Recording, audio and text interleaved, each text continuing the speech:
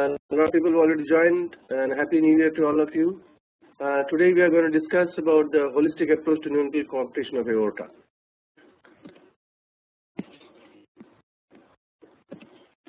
Alright, what's the approach to the neonatal coarctation? Clinical presentation, what are the indications of uh, indications for intervention? It can balloon dilatation, stenting of re or native coarctation, surgical and what are the outcomes of that. So presence of weak femoral pulses correctly identifies neonates with coarctation. Any all in all NICU rounds, you should always uh, check for the femoral pulses, whatever may uh, be the presentation of the uh, neonate. That's mandatory. So it was showed in a study that isolated upper to lower extremity blood pressure difference of more than 20 millimeters of mercury has a sensitivity rate of about 92 percent. An important differential diagnosis of shock in the neonatal period is left ventricle outflow obstruction, including coarctation. So when a patient presents with shock, you should definitely uh, don't, don't forget to uh, check the femoral pulses. Unfortunately, in infants below 6 months of age with coarctation and cardiac failure, diagnosis can be mistaken for sepsis or pulmonary disease in almost half of the cases.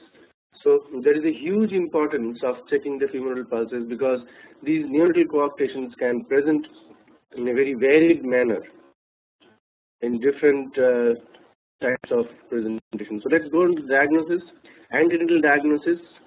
Fetal echocardiography can correctly identify coarctation in about 30 to 70 percent of cases. Now in fetal echo, coarctation is often uh, difficult diagnosis.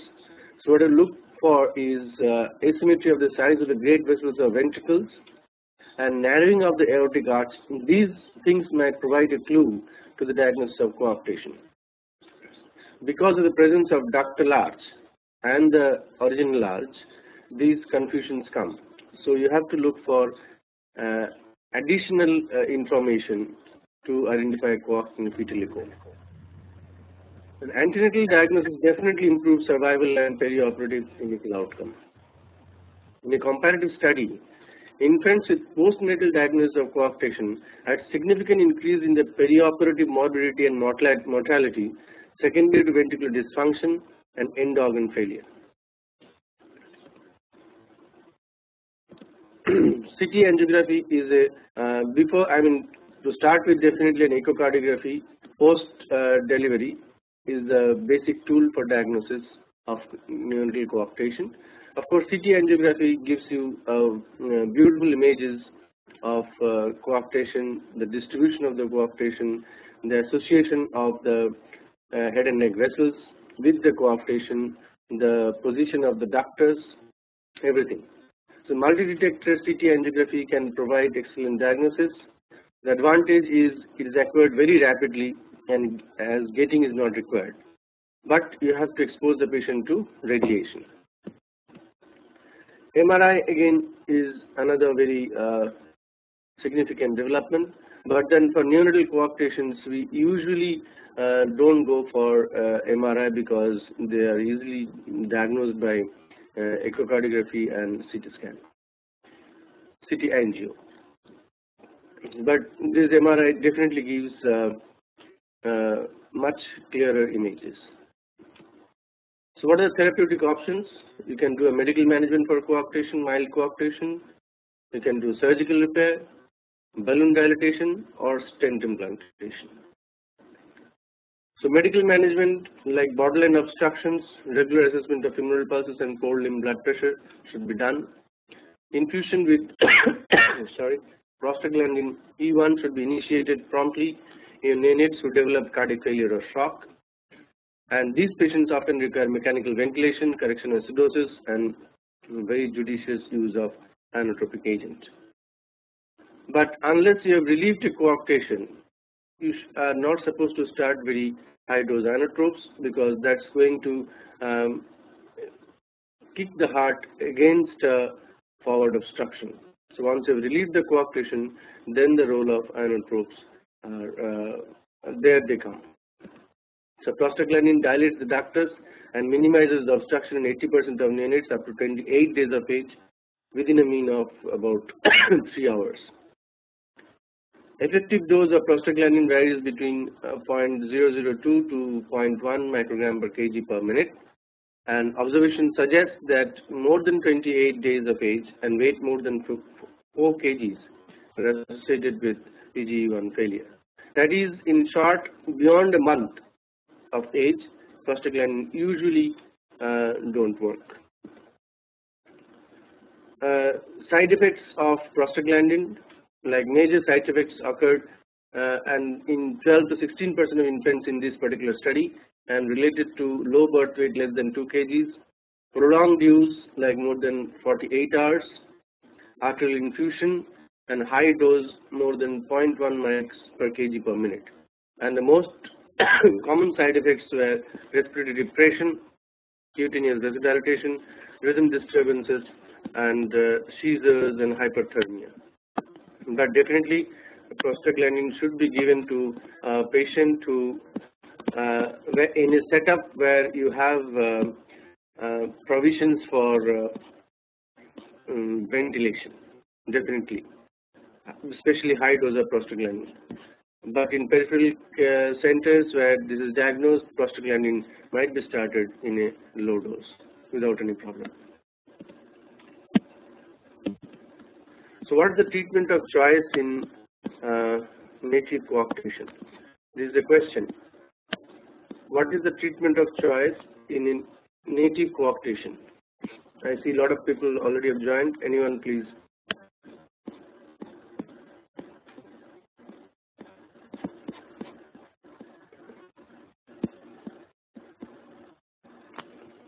I don't see any of my fellows because probably they are all sleeping. It's quite cold in Calcutta today.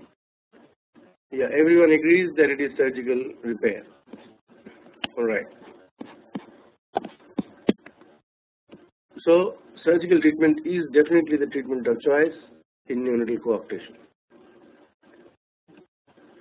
So, among the different techniques, end-to-end -end anastomosis is most is the most widely used and has the best long-term results. Usually performed by lateral thoracotomy without CP bypass unless you require a serious uh, arch reconstruction. And, and, that is mostly required when you are dealing with some hypoplastic left heart with a very hypoplastic aortic arch and stuff. But otherwise, usually coarcts are repaired by lateral thoracotomy without a bypass median sternotomy in the presence of associated cardiac lesions such as ventricular septal defect or when extensive arch construction is required that also you can go through median sternotomy. the most common complication after surgery is recurrent coarctation about 3 to 4 percent and residual hypertension is about 25 to 38 percent but then residual hypertension mainly involves the adolescent age when already hypertension has started uh, in very young um, kids you often don't get so much of hypertension if repaired in the correct time. Perioperative mortality for isolated coarctation is low and ranges about uh, 0.8 to about 5 percent. But higher mortality occurs in neonates and infants in presence of perioperative cardiac failure or shock. So what are the mechanisms of recoarctation post Neonates have 10 to 40 percent recoarctation rate according to this particular study by Andrew et al. Mm, migration of the ductal tissue into the aortic valve long, longitudinally and circumferentially is probably the mechanism. And recoarctation is reported more often in neonates having subclavian flap autoplasty in which ductal tissue was retained. So these are the situations where you can expect a recoarctation. So what's the controversy between surgery versus balloon? The neonatal population data suggests the role of balloon angioplasty is palliative with majority of angioplasty patients requiring surgery within the first year of life.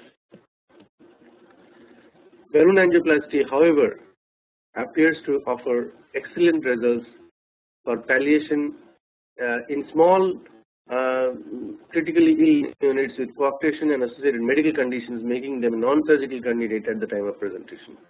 And balloon angioplasty definitely has a major role in post-surgical coarctation, that is recoarctation. So balloon angioplasty works by producing a tear in the thickened intima and media of the narrow aortic segment, dilating the obstruction, and this could extend into the healthy adjacent aorta, causing rupture or aneurysms. So balloon angioplasty is not a very safe procedure, but then if done in controlled hands, uh, it sometimes gives a lot of relief.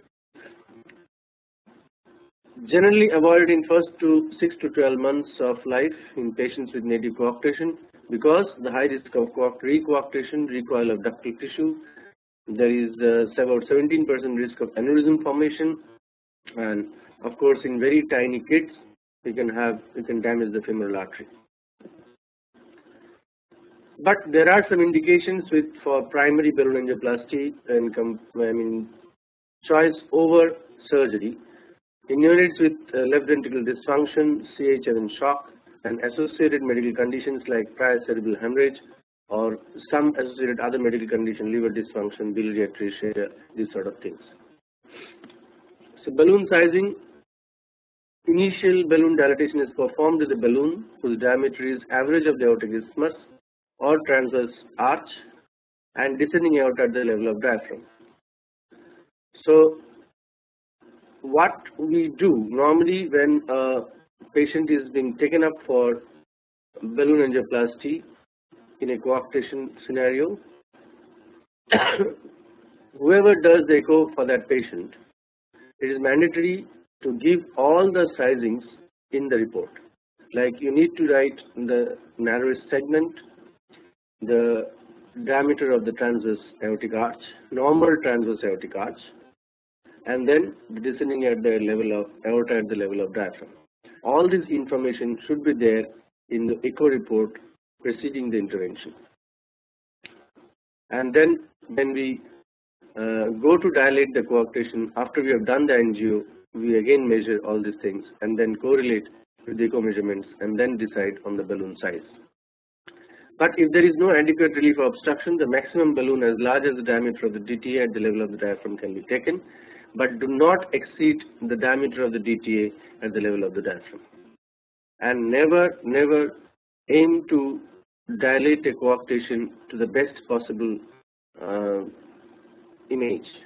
Because do not try to be sorry perfect when you are dilating a coarctation because if you try to be perfect angiographically to dilate a coarctation you might land up in rupture aneurysm all those things. So your idea should be about um, by angio about 80 70 to 80 percent result is enough to tide over the crisis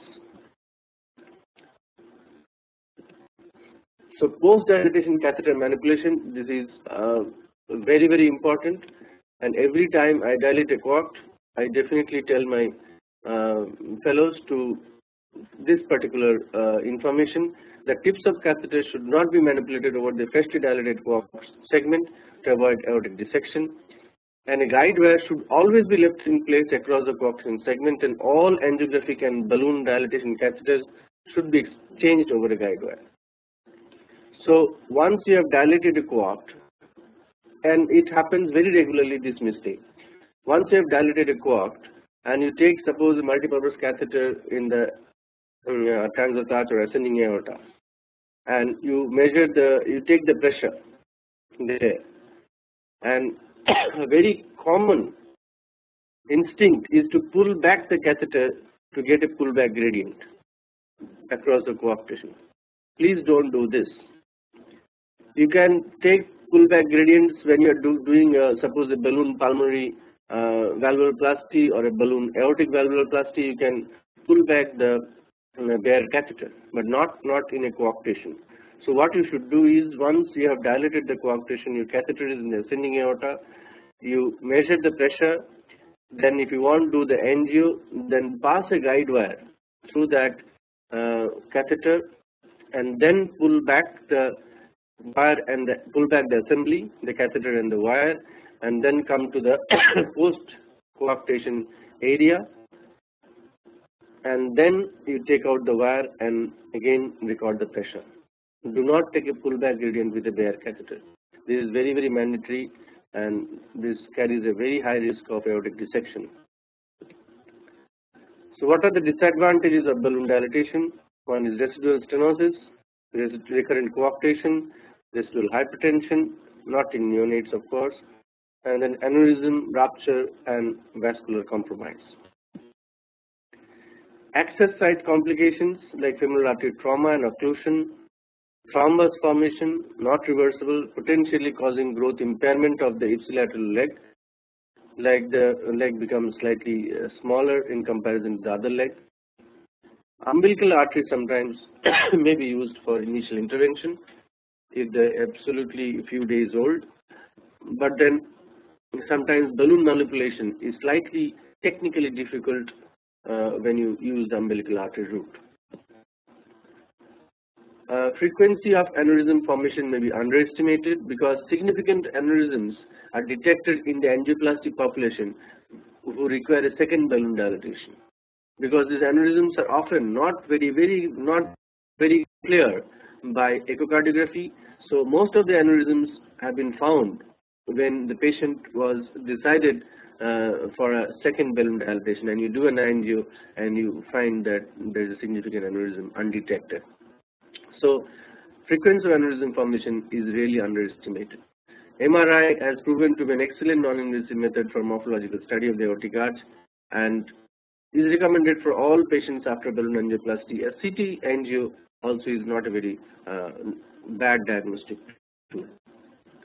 Now primary stent therapy, we usually try to avoid stents in neonates and children. we wait for them to grow up so that we can put the bigger size stents so that you don't have to uh, manipulate with the stent later on. So the high recurrence rate and more importantly the unpredictability regarding the interval between balloon angioplasty and clinically relevant recurrence may argue in the favor of primary stent situation, primary stent therapy in specific situations. But of course, these are very specific situations. So uh,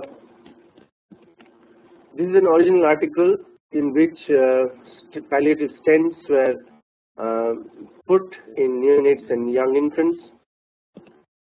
So they they did in five patients.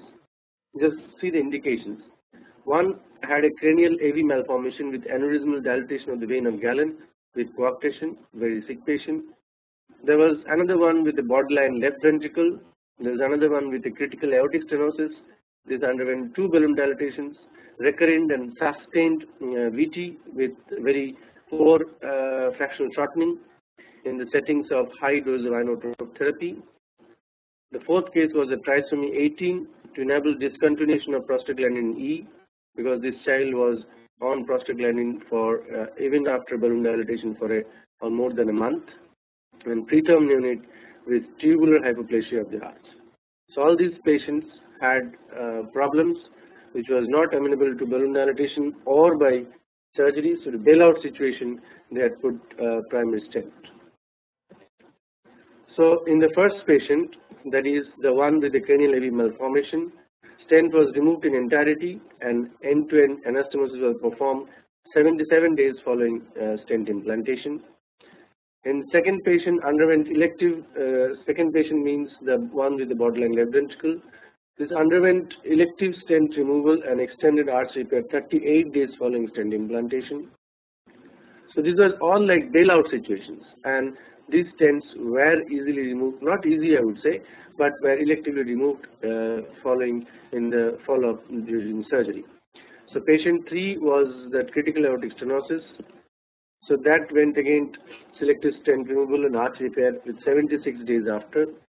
And the one with trisomy 18, uh, surgical coarct repair and VSD closure was accomplished 83 days after. And the last patient was uh, after 9 weeks and this is another study uh, by endo, endovascular stenting as an emergency treatment for neonatal coarctation. This was again a very uh, very very sick unstable unit in which they have described they have put a um, bailout stent. Stent removal as the stents having been left in situ for periods exceeding 3 months without adversely affecting surgery subsequent surgery. So this et al. describes a series of three premature patients. Of the two survivors, one patient had the stent entirely removed four months later and the stent could not could not be removed at surgery three months later in the other one. So uh, which patient which patient will react in which way is not very very clear. And this is another Francis et al. study. There was no mention of any complications related to excision of the stented segment. There is another study which says the stent could be easily picked up by the surgeon if surgery was performed within few days after implantation and end after endarterectomy needed to be performed in some patients if the surgery got delayed. So different studies have different results. Few surgeons say that there is no problem and few surgeons say though there is a hell lot of problem. So conclusions about primary stent therapy Primary stent implantation for palliation of coarctation is technically feasible in preterm neonates and young infants in whom surgery may be either risky or relatively contraindicated for a variety of reasons. An acute and early follow-up results are sufficiently encouraging to consider further evaluation of this approach. Like when you are absolutely stuck to the wall, then probably you can use this, bailout therapy. Advantages of stent implantation of course not only for neonates for any age is preventing elastic recoil of the stented segment, negating the influence of ductal constriction and it avoids over dilatation of the stenotic segment because there you can achieve a 100% angiographic result. And of course there is decreased risk of aneurysm formation. But then definitely definitely you should have covered stents available on the shelf of your cath lab when you are planning to do all these dangerous interventions. Even when you are doing a balloon dilatation it is mandatory. I understand this is not always possible but it's mandatory that you have a cover stent on the shelf of the cath lab. And in very small uh, neonates when you are using a balloon uh, angioplasty, when you are doing a balloon angioplasty maybe uh, a coronary stent, a coronary stent might sometime bail you out if you have a sudden dissection or rupture because coronary uh, covered stents are usually present in the uh, cath lab. So make sure that at least they are present when you are dilating in your neck coarctation. Future trends are of course biodegradable stents, growth stents. Now growth stents is a balloon expandable metal stents. Two longitudinal halves are connected with bioabsorbable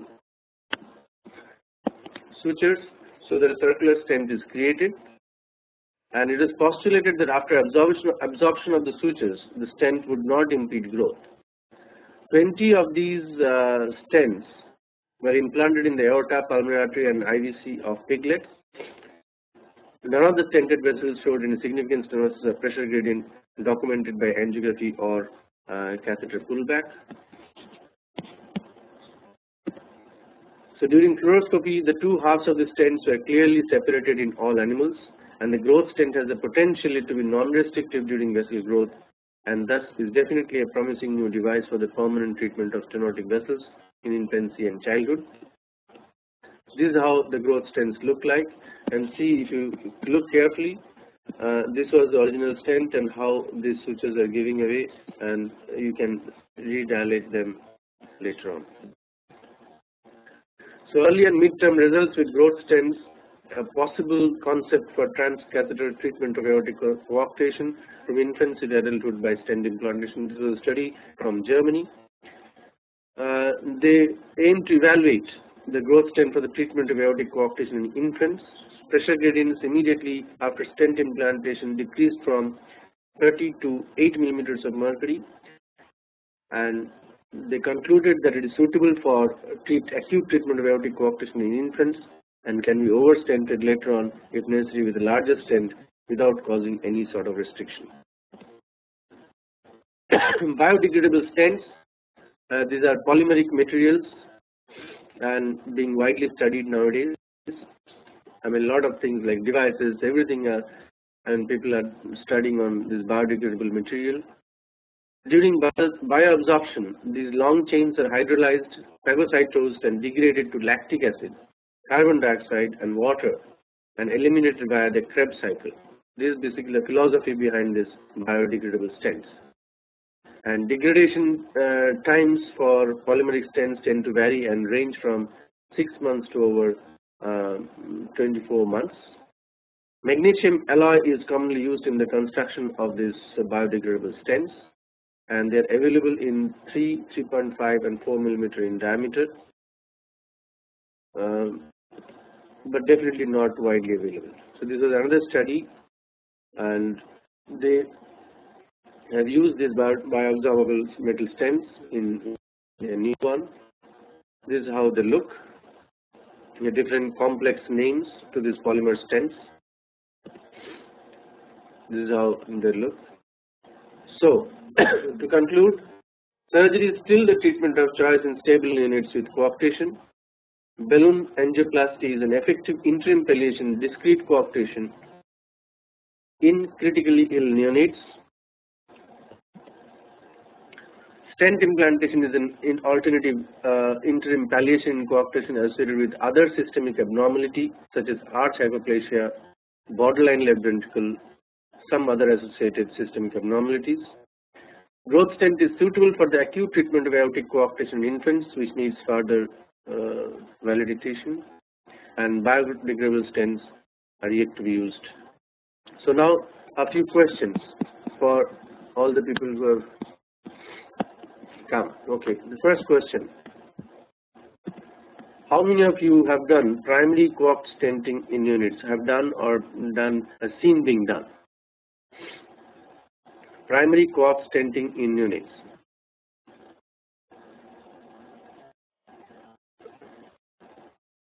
Dr. Trupti says 1. Uh, what was the indication in that particular patient? Even uh, a lot of people have experience looks like. I would like to know what was the indications in indication in that particular patient of yours. Baby was in shock, severe acidosis. So wouldn't have a balloon angioplasty would have would have bailed out the situation? Dr. Shabab, uh, Sadab, what was uh, your indication? Sick newborn. Okay. Now, now my question is, why only balloon balloon angioplasty alone was not sufficient in this uh, in these patients? What was the reason? Tried, it failed. All right. And uh, yeah, but okay. So this was like a, again a bailout situation. I understand that as a bailout procedure. Yes. So primary stent coarctation is uh, we have never done it in our institute. Okay. Next question. How many of you would routinely do balloon dilatation of native coarctation irrespective of LV dysfunction? Means if, even if the LV function is good, how many of you would do balloon dilatation of native neural coarctation? Just yes or no, that should be enough.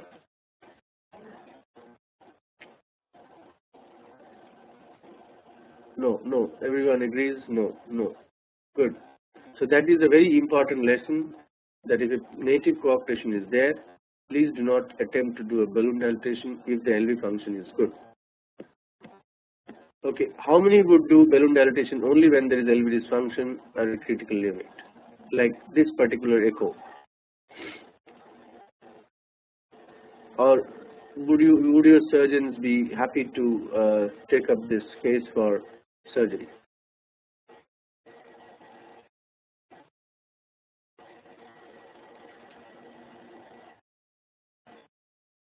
Yes, some answers.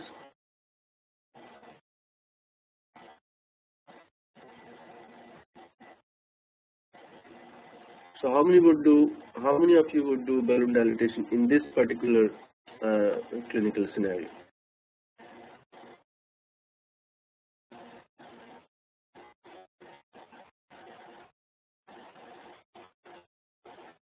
Am I still heard?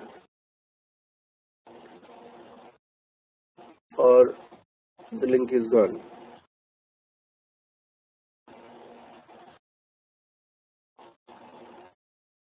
No answers. Yes, Dr. Trupti, Dr. Shadab, any answer? Dr. Vimla?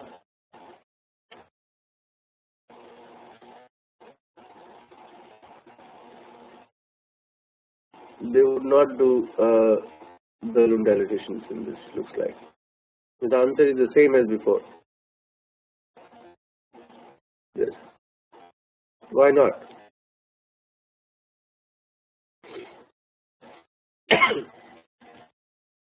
In this scenario, in this scenario in particular this sort of LV dysfunction, the neonates are usually very sick. They are very sick in acidosis and all. So in these situations, if you are doing a um, balloon dilatation, uh, you are not very unjustified.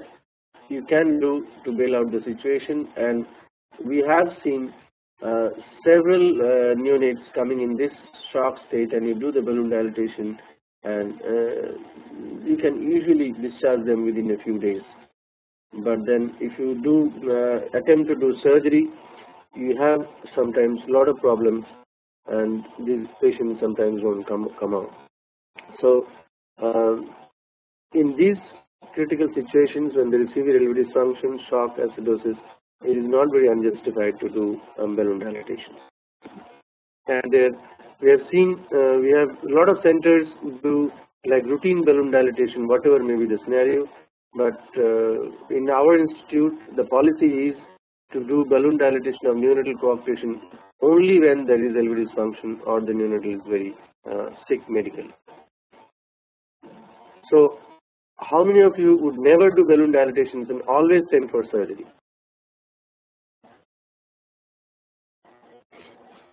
Any comments?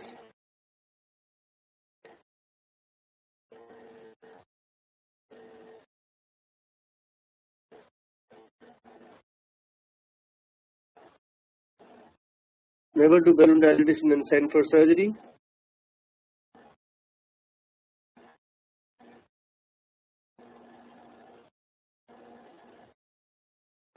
No answers at all?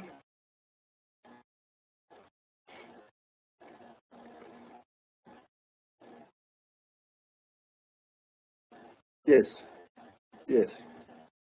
I think that's, yeah, you, you should always send the patients for surgeries because surgery is the treatment of choice. And uh, but so to sum up, to sum up, actually in coarctation, uh, if the patient is stable and has a coarctation with good LV function with no other antecedent factors, you definitely should send the patient for surgery because that's the treatment of choice for coarctation. But if the neonates are sick with very bad uh, LV dysfunction, then probably we can do a balloon dilatation to bail out the situation. And uh, definitely uh, other important message for all of you is do not cross a, a dilated coarct segment with a bare catheter. Definitely do it over a guide wire and do not take a pullback gradient of the coarcted uh, of the dilated segment with a bare catheter just like that. Put the wire again back, take out the whole assembly out and then take a pressure distally.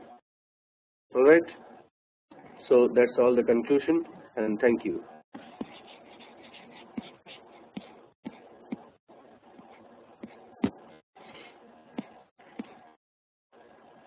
Thank you everybody. All right.